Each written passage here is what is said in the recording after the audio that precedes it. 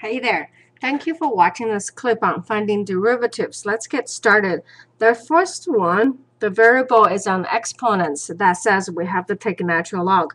So let's get started. Solution for number one, let's call it y is equal to 250 1.045 for t. So we're going to take 250 over first. Equal to 1.045 to the 4t. I'm going to take a natural log on both sides. So natural log of y minus natural log of 250. And the reason I did that is there's a pro, pro, um, property of natural logs that um, a, b, that's equal to natural log a minus natural log of b. Technically, we should put the parenthesis on absolute value on it. Anyway, so back over here, 4t comes down here, and I have natural log of 1.045, which happens just to be a number. Now we're going to take a derivative. Derivative of the first one, you do have to recognize you have to use implicit in that derivative of the natural log of y, that's just 1 over y. Okay? And then since y is a function of t, we have dy dt, which is the y prime. This one goes away, and that's equal to 4t, uh, 4, not a t, 4 times natural log of 1.045. Okay, so we're almost there.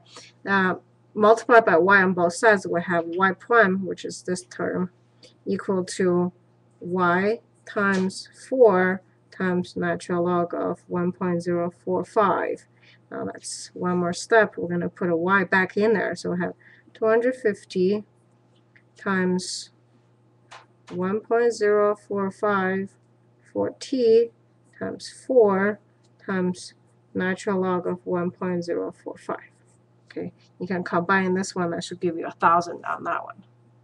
Let's move up a little bit. So again, I substituted y here. This the whole thing is the y. Okay, and then times 4 uh, this whole thing is y. And times 4 times this one. So that's the y prime. Now let's take a look at number 2. For this one, we have a 2x minus 3 x to the 3 halves. Now this one is not hard, it's a little tedious, so you need to keep track of what you're doing over here. fx equal to this. f prime of x, we're going to take derivative of the first one, which is equal to 2, Okay, that's the easy part. Leave the second part alone. Plus, leave the first part alone. Take derivative of the second one, which is 3 over 2, x of 3 over 2 minus 1, which is half. Okay, here we're just going to simplify from here. Let's take um, x to the half out. Okay, and then for the first term, I'll have 2 times x to the 1 okay, plus 2x minus 3 we need to multiply by 3 over 2 and that's it. So x to the half, x to the half, I have a 2x plus, let's see, the first term I'm going to have a 3x, and then I have a minus 9 over 2. Um, it's up to you. We can take the half out if you wanted it. So it's half x to the half.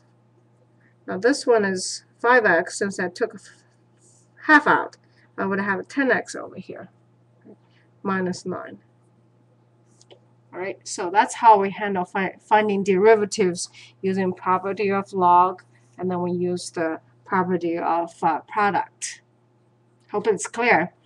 Please comment on YouTube uh, and let me know if it's been helpful to you. Hi, this is Dr. Pan, host of Tucson Math Doc channel on YouTube. Subscribe this channel to have more math answers. Together, we can make math fun again. Till next time, have a confident day.